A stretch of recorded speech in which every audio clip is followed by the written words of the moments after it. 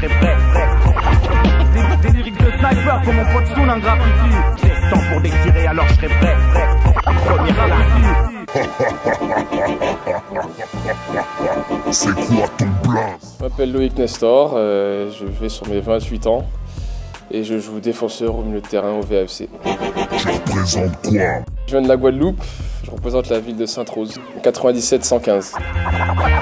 Jamais dans la tendance, mais toujours dans la bonne direction. J'aime pas, je n'aime vraiment pas l'injustice, j'aime bien que les choses elles, sont, elles soient carrées et qu'elles soient, qu'elles soient justes surtout. Voilà. À titre professionnel, et faire la meilleure saison possible, obtenir le maintien le plus rapidement possible. Essayer de, de gratter quelques places euh, là-haut. C'est une époque de fou, tout se joue sur un coup de poker. Sur ce qui me marque un peu ces dernières semaines, on a, l'affaire Fillon qui, qui tourne en boucle à la télé. Et euh, bon, bah, ça va être marrant de suivre les élections euh, dans quelques mois. Je pense que ça prend de l'ampleur, surtout sur le fait qu'il était candidat à l'élection et que c'était le favori. Ça risque d'être très compliqué.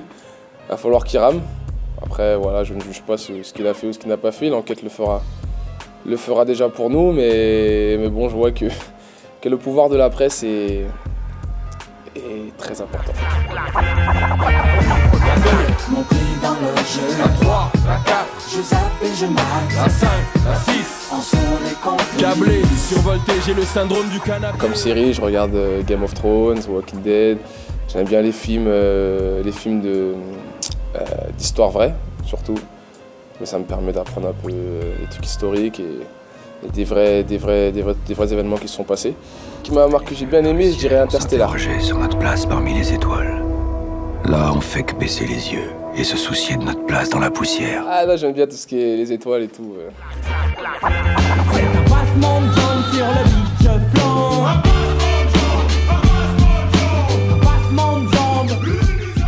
On a fait des crassages euh, après, le match, euh, après le match du Havre. On a couru. On n'avait pas beaucoup dormi la veille. Et... Généralement, on soigne les petits bobos de la veille, on fait les petits soins pour, euh, pour remettre un peu le corps euh, en état. Puis après, pour ceux qui sont en pleine possession de leurs moyens, on va faire un footing. En même temps, ça nous permet d'oxygéner un peu et, et de, bah, de refaire un peu fonctionner les muscles pour, euh, pour que- pour pour récu- pour qu'ils récupèrent plus vite. Quand un correspondant est absent, sa messagerie se met à enregistrer des messages. Jusqu'à saturation.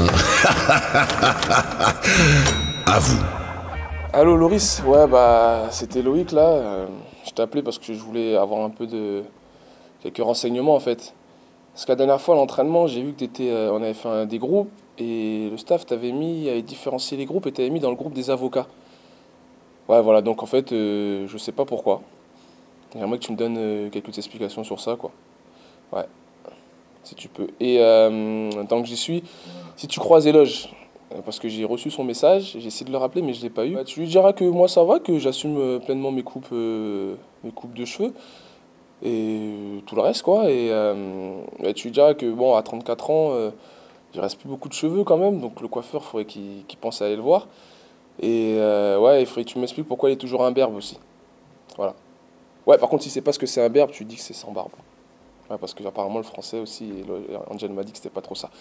Donc voilà, bon, bah en tout cas, euh, Loris, euh, tu me donneras ta réponse quand, quand tu as le temps. Et puis je te souhaite un bon entraînement. Allez, bisous.